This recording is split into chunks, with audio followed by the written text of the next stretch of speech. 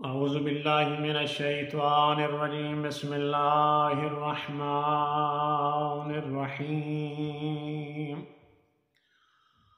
वइज़ा सालक इबादी अन्नी फ़इन्नी क़रीबुन उजीबुद्दावात तद्दाए इज़ा दआने फ़लयस्तजीबू ली वलियुमिनु बी लअल्लहुम यरशदून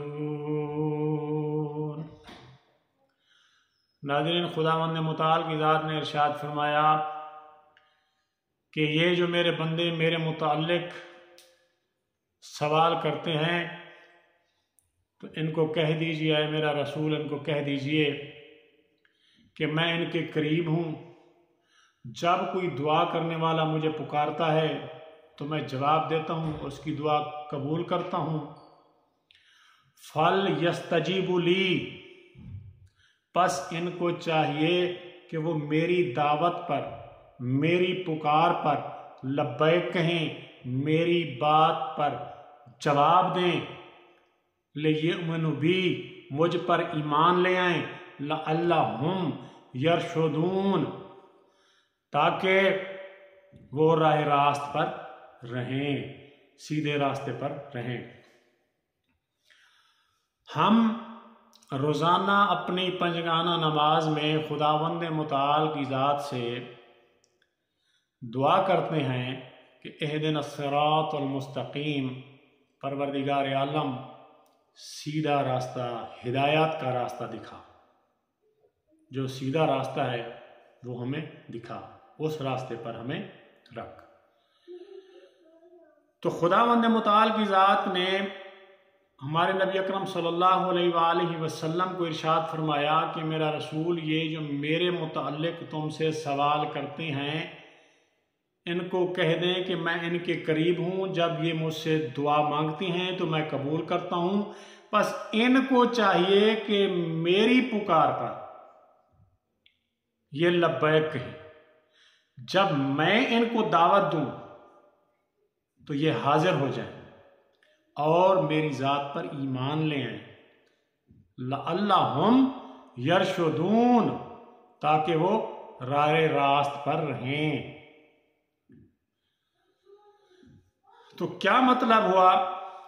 ये बात तो समझ में आ गई कि एक जो इश्तबा था कि खुदा मंद मुताल की ज़ात हमारे कितना करीब है क्या हम जब दुआ मांगते हैं तो क्या कबूल होती है? क्या परवरदिगार आलम उसका हमें जवाब देता है? तो खुदावन ने मुताल की ज़ात ने खुद इरशाद फरमा दिया कि मैं इनके करीब भी हूँ। जब कोई दुआ मांगने वाला मैं मुझसे दुआ माँगता है तो मैं उसकी दुआ को कबूल भी करता हूँ, सुनता भी हूँ। बस अब मेरे बंदे को चाहिए, फल यस तजीबुली जब मैं इसको दावत दू, मैं इसको पुकारूं तो ये फौरी तौर पर लब्बैक कहे। खुदावंद मुताल की ज़ात ने कुरान मजीद फुरकान हमीद के अंदर जो भी खिताब किया है, इंसान से किया है। 114 सूरतें हैं 6666 आयात हैं। तमाम आयात कुरानी खुदावंद मुताल की ज़ात ने इंसान से खिताब किया है। खुदावंद मुताल की ज़ात की गुफ्तगु इंसान के साथ है। खुदावंद मुताल की ज़ात ने इरशाद फरमाया कि ये जो मेरे बंदे मेरे मुतल आपसे सवाल करते हैं, इनको कह दें कि मैं इनके करीब हूँ। जब कोई दुआ मांगने वाला मुझे पुकारने वाला पुकारता है तो मैं इसकी दुआ सुनता भी हूँ, कबूल भी करता हूँ। लेकिन इसे चाहिए कि जब मैं पुकारूं, जब मैं दावत दूँ तो लब्बैक कहे। तो खुदावंद मुताल की रात ने कुरान मजीद फुरकान हमीद में इंसान से छह हज़ार छह सौ छियासठ बार आयात की सूरत में खिताब किया। 114 सूरतों की सूरत में इंसान से खिताब किया और इंसान को पुकारा और हजूर अक्रम वसल्लम की ज़िंदगी इंसान के सामने सराप हिदायत रख दी। हर आयत कुरानी की वजाहत, हर आयत कुरानी की तफसीर। हमारे नबी अकरम सल्लल्लाहु अलैहि वसल्लम की सीरत और ऐमा हुदा की सीरत की वजाहत करती है तशरी करती है। हर आयत की तशरी अम्बिया सलाम औसिया सलाम बिलखसूस हमारे नबी अकरम सल्लल्लाहु और अमा हुदा सलाम की ज़िंदगी हर आयत की तशरी करती है और उनकी ज़िंदगी हमें वजाहत से बताती है। तो खुदा मंद मुताल ने फरमाया, फल यस्तजीबुली जब मैं पुकारूं तो ये जवाब दें यह लब्बैक कहें तो खुदा मंद मुताल की ज़ात ने इंसान को सिर्फ़ और सिर्फ़ इस दुनिया के अंदर इंसान के साथ खिताब किया। जितनी भी इस कैनात के अंदर मखलूक मौजूद हैं, तमाम मखलूक तक पैगाम पहुँचाने के लिए खिताब इंसान से किया। जानवर के मुतालिक की हुक्म है तो खिताब इंसान से है। इंसान के मुतालिक की हुक्म है तो खिताब इंसान से है। हलाल हराम के मुतालिक की हुक्म है तो खिताब इंसान से है।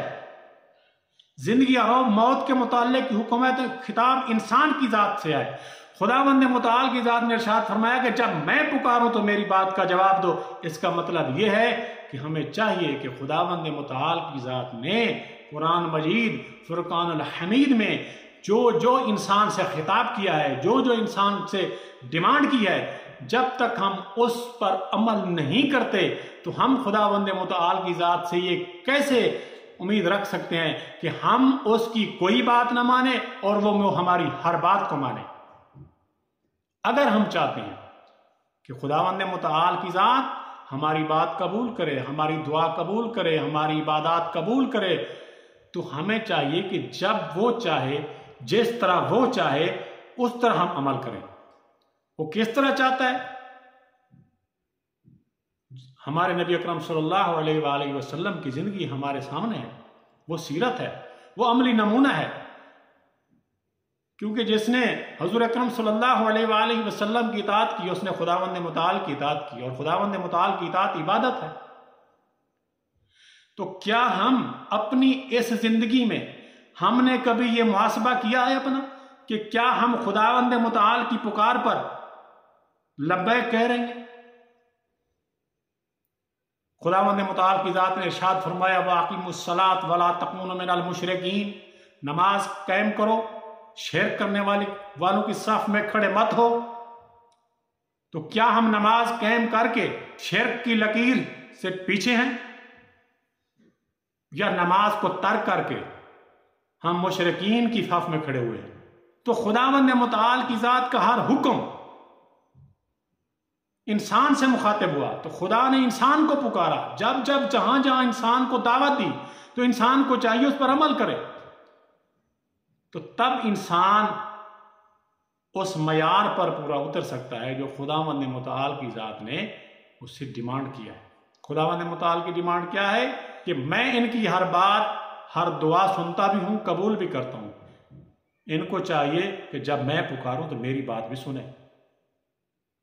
तो खुदावंद मुताल की ज़ात हमसे जो कुछ भी चाहती है, उसमें हम, खुदावंद मुताल की ज़ात का कोई फ़ायदा और मफाद नहीं है। खुदावंद मुताल की ज़ात ने जितना भी अम्बिया सलाम भेजे, जितना अलिया अमा हुदा सलाम भेजे, खुदावंद मुताल की ज़ात का सिर्फ़ और सिर्फ़ एक मकसद है वो क्या है? वो है इंसान को रह रास्त पर ले आना, इंसान को जहन्नम से बचाना।